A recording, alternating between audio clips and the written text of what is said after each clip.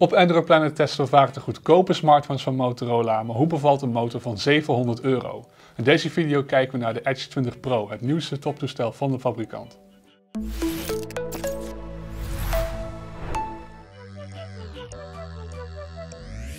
Pakken het in deze video iets anders aan, want dit is geen review van de Edge 20 Pro, maar we kijken naar de vier belangrijkste features van de telefoon.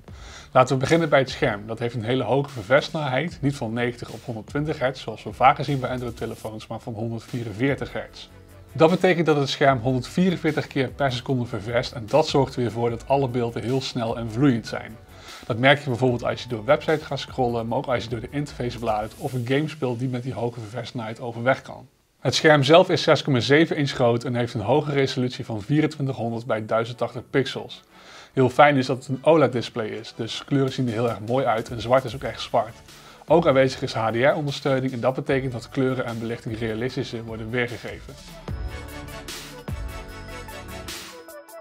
Ook opvallend aan de Motorola Edge 20 Pro zijn de camera's. Op de achterkant is allereerst een 108 megapixel hoofdcamera aanwezig en die perst pixels samen om tot mooiere 12 megapixels foto's te komen.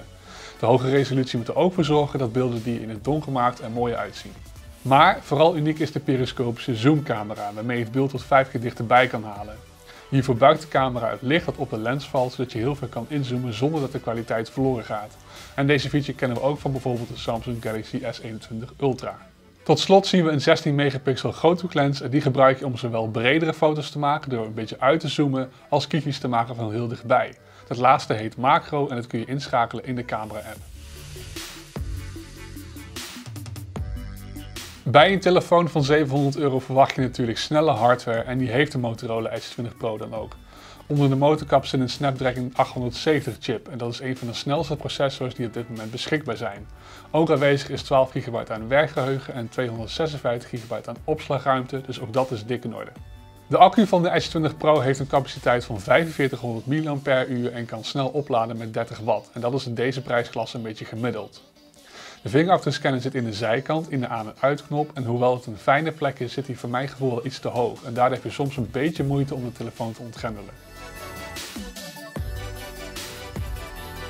Tot slot willen we de software even noemen. De Motorola X20 Pro draait op een bijna kale versie van Android 11 en krijgt ook meer updates dan voorgaande Motorola telefoons. En dat is natuurlijk fijn. Het bedrijf belooft sowieso Android 12 en 13 uit te brengen en komt drie jaar lang met beveiligingspatches. Ter vergelijking, bij vorige Motorola toestellen kon je maar rekenen op één grote Android update en twee jaar lang aan beveiligingspatches.